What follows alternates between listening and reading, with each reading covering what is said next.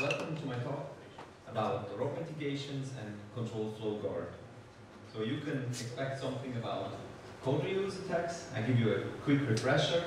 Then I will talk about emits, ROP mitigation techniques, and as a third bullet point, uh, I will talk about Microsoft Control Flow Guard, the compiler feature.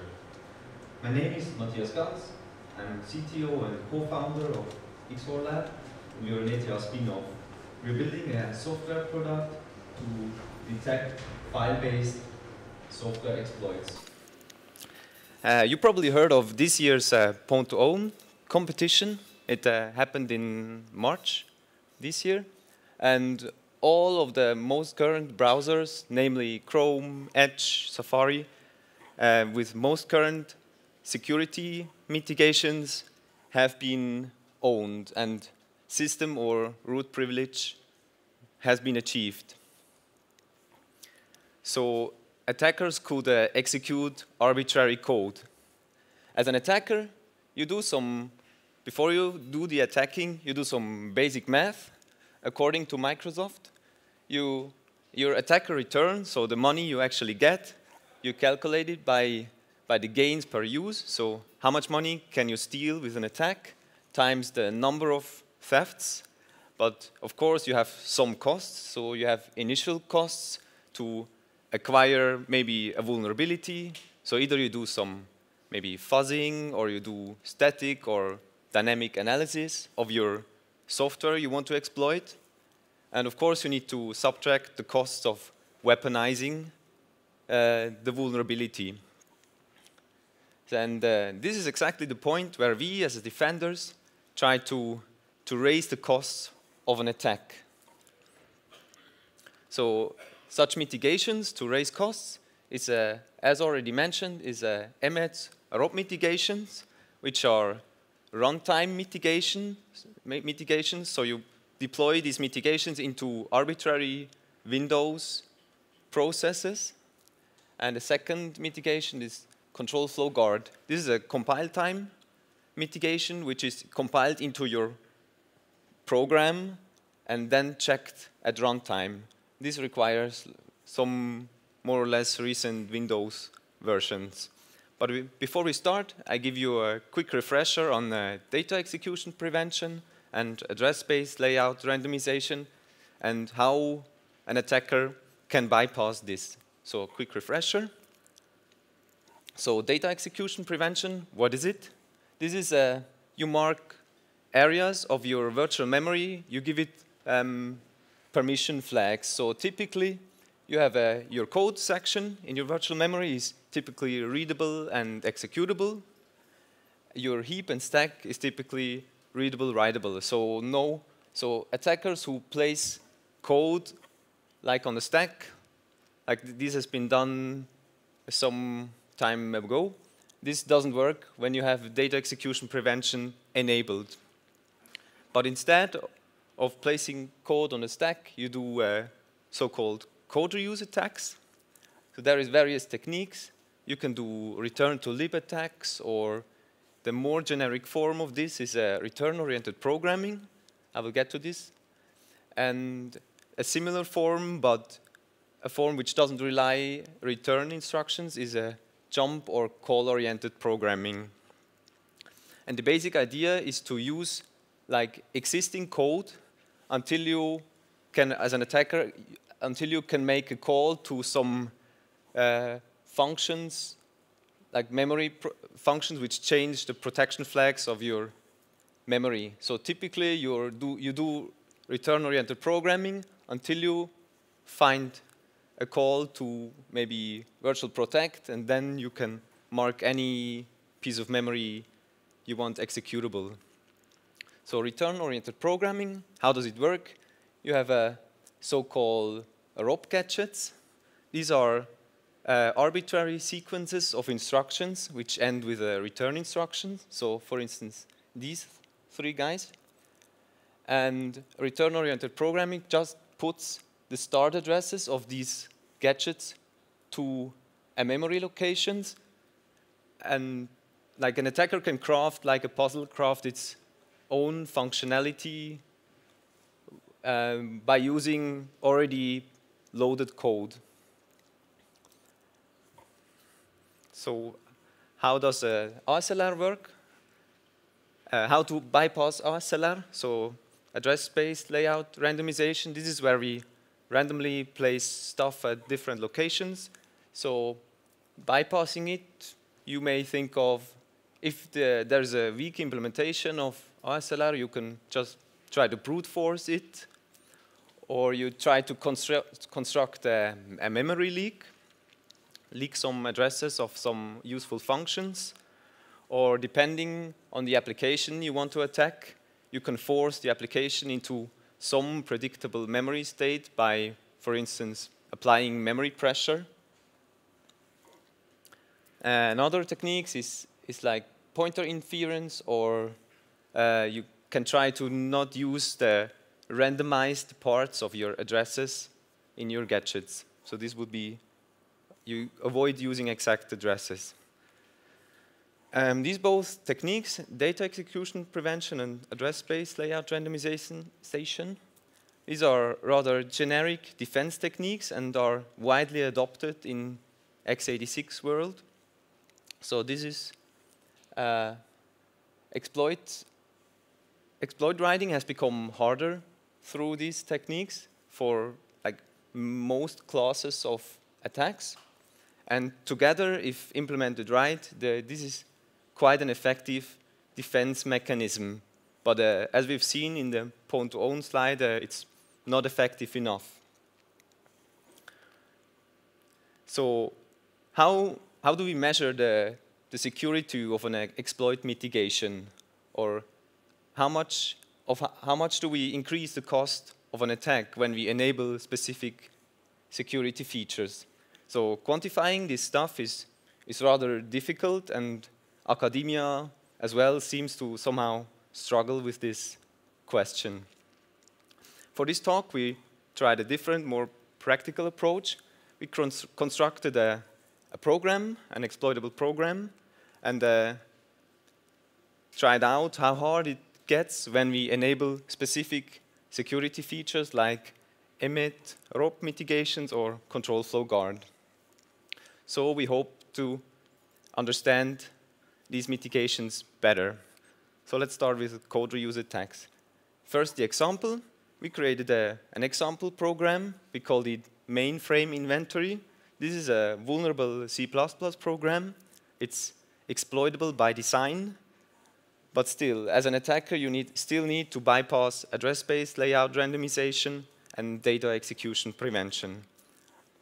So we created this mainframe inventory program as a 64-bit program. We compiled it with, with Visual Studio 2015 on Windows 10. And what it basically does, we, we keep a link, linked list of, of programs, of arbitrary objects, uh, and maintain this list and expose a HTTP interface to clients.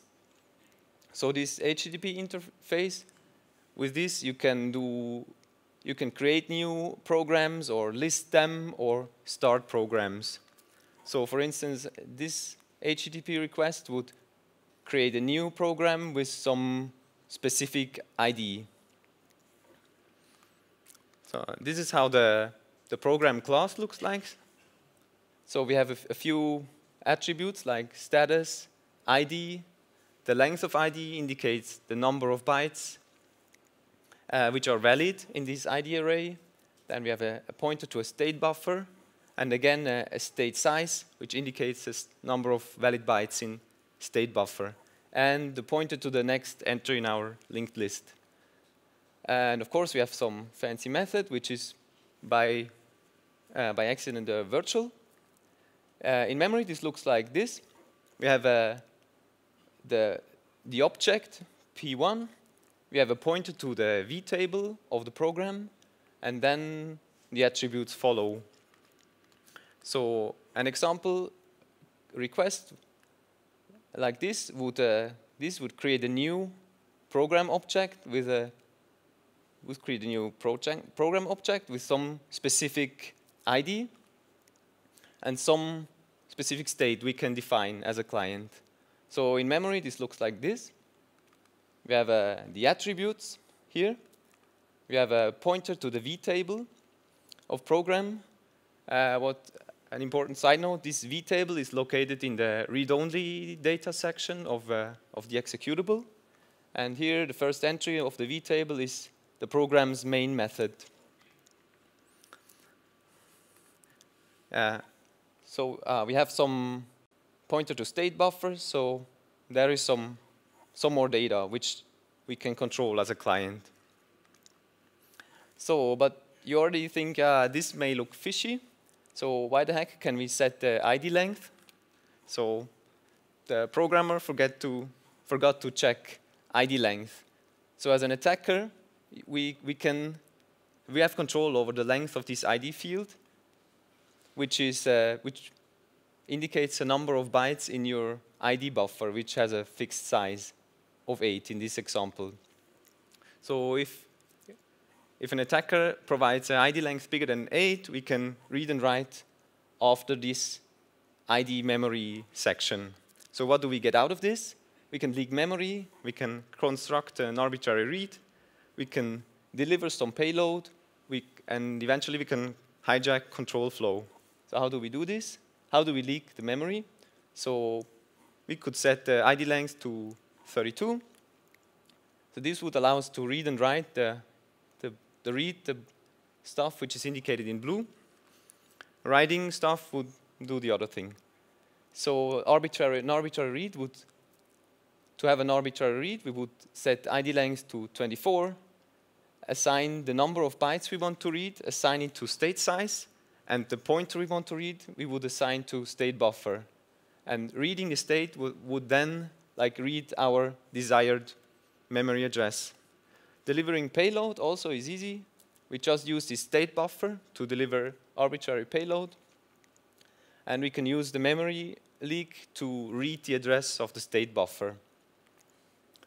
So how do we do the control flow hijacking? We use, uh, if we could create a, a fake object, which would lo look like this, we could give it a fake V table, and the first V table entry would point to our uh, escape location. So let's try to construct this fake, fake object. We, we have a, a sane object, P1. In the state buffer, we place our fake V table. We create another buffer with our fake object, which no, now knows the address to the vtable we previously leaked. So we have constructed the fake object. When we update the next pointer, we can successfully insert the, this new fake object into the list of programs, objects. So hijacking control flow is just calling the virtual method of this fake object. So this would then be uh, some HTTP request in this example. So, but still, we need to uh, bypass data execution prevention and address space layout randomization. This needs uh, the following steps.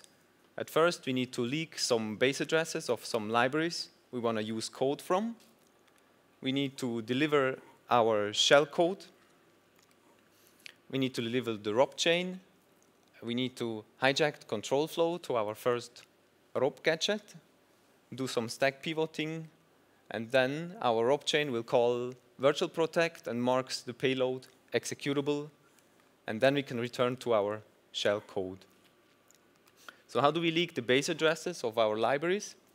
So if you have two objects, next pointer points to the, the next object, which at the offset zero has the vtable. So we just follow this vtable pointer, and we will find um, the address of the main function in the executable.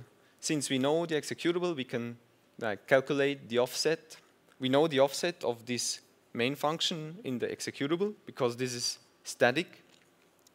We can derive the randomized we can derive the randomized base address. And this gives us the image base address. With this base address, we, we can read the import address table of the, this executable. And in our example, we have like imports. So we use functions. This executable uses functions from, in this example, kernel 32 and some CPP REST uh, library. So we can leak more addresses. So with this, we can say address-based layout randomization is bypassed. Exploit delivery is in, in example, example quite easy. We just use this state buffer and leak the address of the state buffer. Uh, for this inventory example, we created the, the shell code with Metasploit. We use uh, Windows exec uh, shell code with a, which, which pops a calc. Yeah, so this is standard generated code. Then the ROP chain is also pretty straightforward. We do some, we use some basic gadgets to prepare our arguments. Like this prepares argument zero, argument one, etc. Here, you, for instance, you see the the third argument to virtual protect. And eventually, we call virtual protect and return to the, the shell code. So how do we actually then hijack control flow? We have the, this is the call site which we want to hijack. So if you look closely, this is the, this points then to our fake object. The fake object, uh, the pointer is dereferenced, and now Rex points to the V table, and eventually we call the first entry in the V table, and so control flow gets hijacked. Uh, our first target after hijacking is a, a so-called stack pivoting gadget. We try to get uh, control over the stack pointer. So the first gadget looks like this. When you as you remember from the previous slide, uh, Rex contained the, the vtable address. So this would load the second entry of your vtable and put it into the stack pointer. So if we put our, the address of our ROP chain into the second entry of, of our fake vtable, we can like uh, we can pivot the stack pointer to our ROP chain. So this will happen. So the exploitation in, uh, in pictures, we have a normal code, normal stack. We deliver the shell code on the heap. This is non-executable code. Then we deliver the ROP chain, also non-executable. Then we hijack control flow, pivot the stack to point to the ROP chain. The ROP chain gets executed. And eventually we end up in a virtual protect call, which marks the code, the shell code executable, and then executes our shell code. So data execution prevention is also bypassed. And this is some screenshot of our demo program. We could pop calc so next, next topic, let's enable, let's enable ROP mitigations for our exploit. So what is, what is Emmet? Before we start, like Emmet was introduced in 2009, and the most current version is a 5.5 and was released uh, end of January this year. So Emmet implements various uh, security-related features and hardening techniques which you can apply to arbitrary processes on your Windows desktop machine. But for this talk, we will focus only on ROP-related mitigations. This is the, the Emmet config GUI, if you don't know it. So you can, you can configure processes, processes to be guarded, and you can enable specific security checks for your processes. So we ROP mitigations are these stuff in the boxes. We will focus on this. Uh, the ROP mitigations were introduced introduced to through ROPGuard. ROPGuard was uh, as a Microsoft Blue Hat won a Microsoft Blue Hat prize, and this ROP card was integrated into Emmet. Firstly, integrated into Emmet 3.5. Uh, if you know Emmet, there is some ROP mitigations which are only available for 32-bit. So some of the ROP mitigations, namely the color checks and simulated execution flow is not available for 64-bit. But before we continue, uh, how does emmet the hooking? So emmet injects uh, a, a DLL into every process you want to have secured. So it injects a DLL and then hooks into sensitive API calls. So these sensitive API calls are virtual protect, load library, create process, etc. There are about, I think, 50 functions which are protected by emmet. So if we talk about ROP mitigations, there is rather a ROP detection than ROP prevention because the ROP checks are only done when you call these critical API functions. So how does an emmet look look like? If you call, for instance, virtual protect, and you, if you follow the debugger, you will notice a weird uh, jump at this symbol. So this is a emmet hook. This jumps to some dynamically generated code.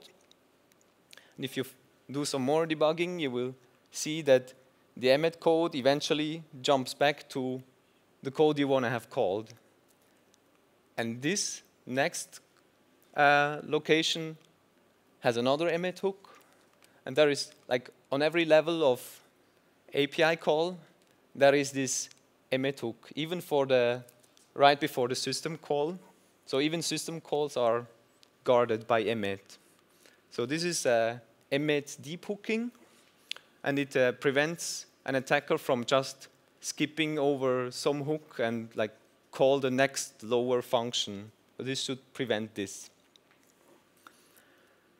So these ROP mitigations, let's uh, start with the first mitigation, the memory protection mitigation. This is fairly easy. You just, emmet just disallows the program from marking the thread stack executable. So placing your shellcode on a stack and mark it executable will not work anymore. And the next mitigation, caller checks. Um, during an ongoing ROP attack, functions are not called, but they're rather returned into.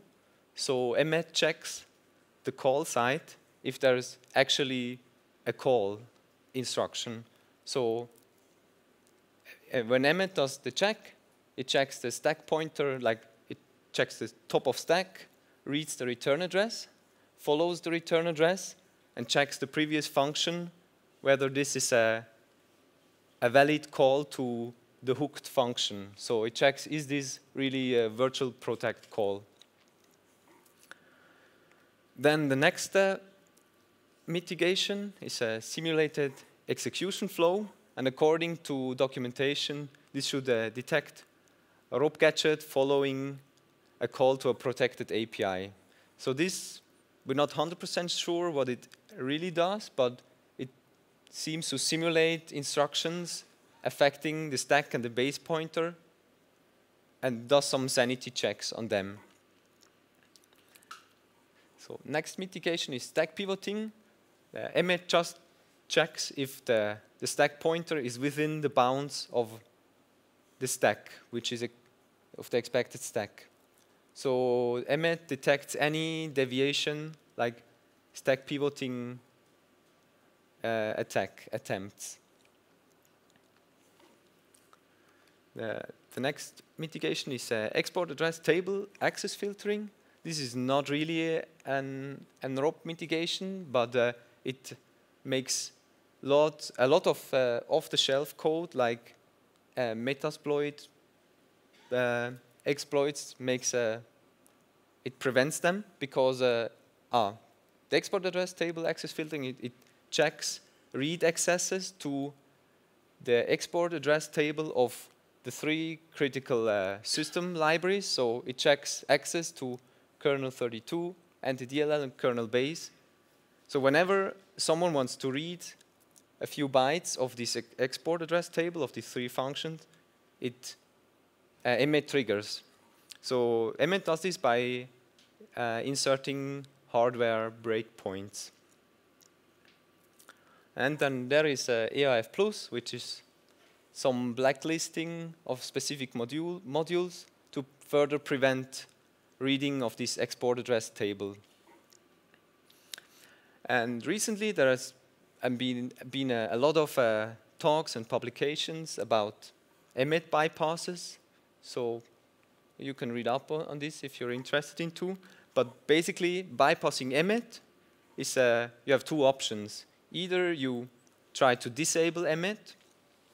This was uh, this has been shown for emit version 5.2, I think, where an attacker could just call DLL unload of emmet, and then emmet did some nice and nice unloading of, of itself and deinstalled hooks, basically. So you could disable it by calling disable, basically. And this, I think they fixed it in version 5.5. And the other uh, option you have to bypass emmet is to harden your exploit and make it emmet aware so it withstands these uh, runtime checks. So how do we bypass emmet memory protection? This is the feature where we uh, prevent the stack from being marked as executable. So we just deliver the shellcode not on the stack, but on the heap. Or we, we just use uh, return-oriented programming and code reuse attacks and not rely on marking any memory as executable. How, yeah, and there is another way we, uh, we found out about.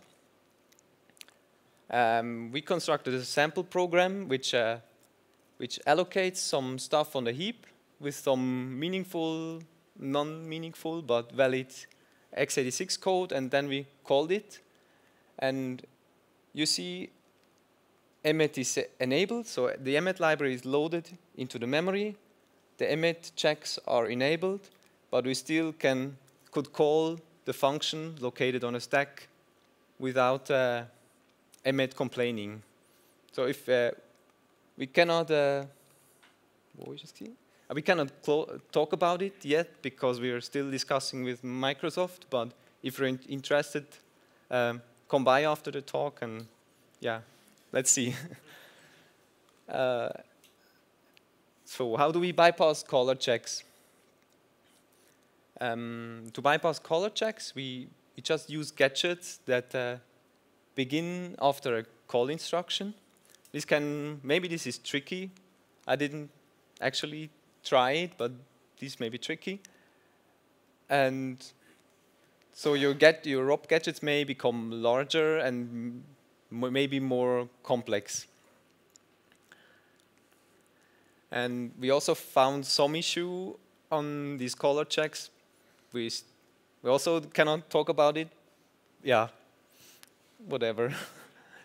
so stack pivoting, bypassing stack pivoting is uh, you just make sure if you enter one of these critical functions, which emmet protects, you just make sure that your stack pointer points to the stack actually and not to your fancy ROP chain somewhere on the heap. Uh, another option would be just deliver the ROP chain to the stack or copy the ROP chain from the heap to the stack. You could do this with ROP code. So yeah, how to bypass EIF. Um, since EIF was, uh, this is checked with some hardware feature, there was some guy on the internet which explains how to disable this hardware feature. I'm not quite sure whether this works in most current version of emmet, but it should, I guess. Yeah. So let's harden our uh, our sample program, the, which we which I introduced before. Let's harden it with with emmet, because the sample program is 64-bit. Uh, we have to. There is less mitigations for 64-bit. So let's enable it. And then we see that our exploit doesn't work anymore, and we get a, an emmet violation about stack pivoting. So emmet detected that the stack pointer was out of bounds for this virtual, virtual protect call. So having our ROP chain on a stack doesn't work anymore. So what we do instead? What do we do instead? We copy, we use the first drop chain to copy a second drop chain to the stack. And then we pivot again. Uh, we pivot the stack pointer again back to the original stack, but to a different location. And now we can call the virtual protect function, and Emmet will not complain about stack pivoting. Yeah. Yeah, we, for this uh, example, we used uh, memcopy, but you could do simple roping to copy byte stuff byte by byte. So we tried this, and we hit the next Emmet violation. So this was a export address filtering violation because our uh, shellcode uh, scans through the export address. Again, we have some detailed information, more or less detailed. So instead of using the Metasploit payload, we constructed our own payload. And tried again, and this time it works. So no Emmet complaining. So for our constructed example, bypassing Emmet was somewhat easy because uh, there are no caller checks and no simulated execution flow checks in 64-bit. This memory protection issue was not, uh, didn't really matter for our case, and stack pivoting checks could be bypassed by copying the ROP chain, another ROP chain to the stack. The AIF check was bypassed with, a, with some custom shellcode and with some more engineering, you could make this. Like the custom shellcode now relies on specific library versions, but with some engineering, you could make this more reliable. So let's enable Microsoft Control Flow Guard for our example. Control flow integrity is uh, not too new, so the original publication was in 2005. And there has been many implementa CFI implementations proposed since then. So some were compiler-based, uh, th there was some binary-only implementations, and so forth. And the, ba the basic idea about control flow integrity is to restrict control flow transfers to some limited set of allowed targets. So the first adoption, the practical adoption of control flow integrity was control flow guard, and it, uh, yeah, it's it's available with Visual Studio 2015 on current Windows versions, and it restricts indirect calls and indirect jumps to a static global set of valid functions, valid targets, which are functions. So how does this look in code? We have a 32-bit code. So this is a function call an indirect function call in uh, without guard. And this is a function call with guard. So you see some additional overhead code. You see this check function, which checks the indirect call target, whether this is in the set of valid targets. 64-bit um, is basically the same. So this, this function checks whether the target is in this global set of valid functions.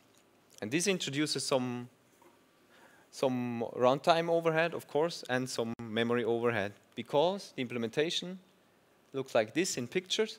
So we have the compiler. The compiler generates a list of valid functions and puts it into the binary. And during runtime, this list of functions is like compressed into a bitmap and put into memory. So we have a bitmap of, I get to this later. Uh, and also we have the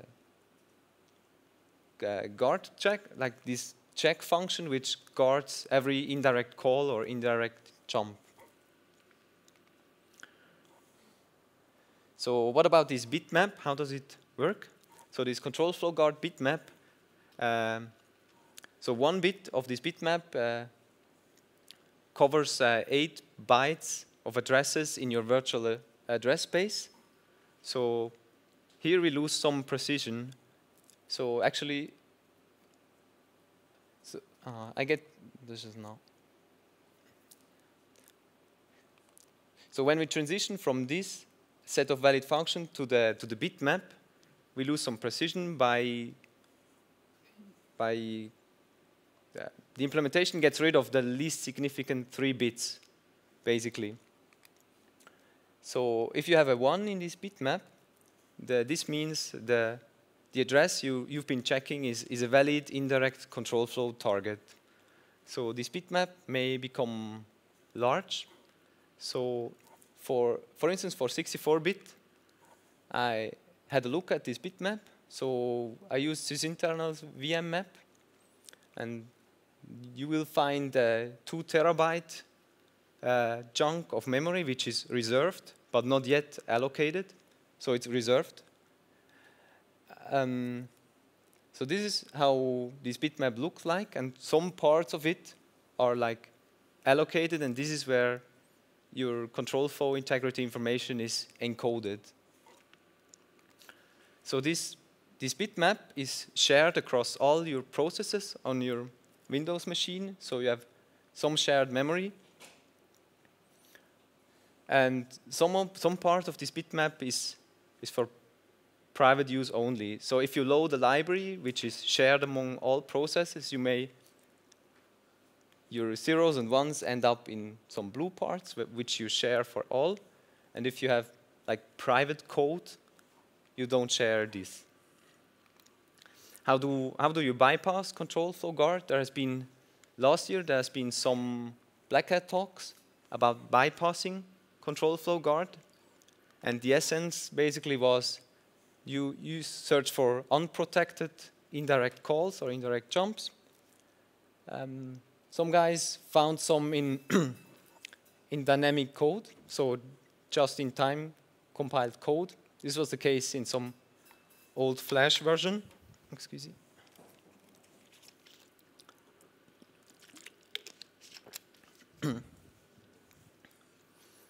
So you search for unprotected calls or jumps or you search for um, CFG disabled modules, so like old libraries which have control flow guard, which are not have not enabled control flow guard.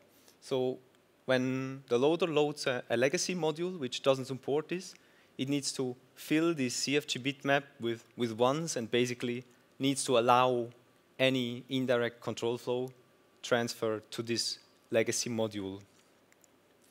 Or another way to bypass control flow guard is just don't use calls and jumps and use returns. So if you can control the stack or parts of the stack, you can just hijack a return instruction because returns are not protected by CFG. Um,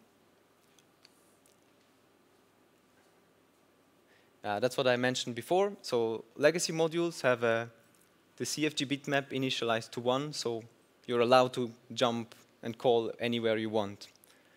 And another problem of CFG, CFG is this imprecision, because you have a, a trade-off uh, between memory consumption of your bitmap and precision. So if you CFG allows a function at address 420, for instance, to be a valid call target, you, you allow by implementations all these addresses, like seven more addresses to be jumped or called to. So you have some imprecision there. And another bypass possibility is ju just call functions. Like critical functions like winexec are not, you can still call them. They're not protected. They're protected by CFG, but you're allowed to call them. So let's assume we have no control over the stack as an attacker, and we can control, we can hijack some indirect call which is under CFG protection. So we, we, we were tried, we tried to look for gadgets which are still reachable because of this imprecision. So how many gadgets do we still have to work with?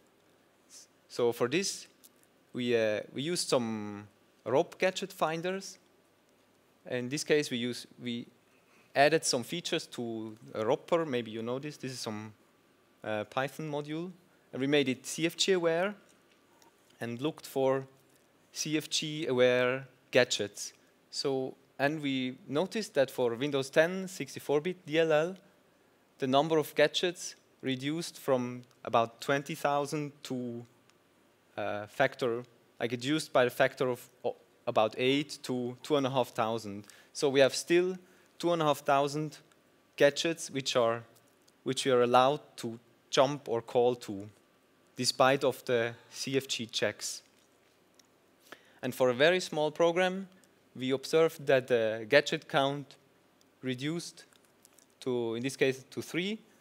And we also noticed that uh, if you enable incremental linking, this is a Visual Studio linker flag, the gadget count reduced to zero. What? So what is this, uh, what is this incremental linking?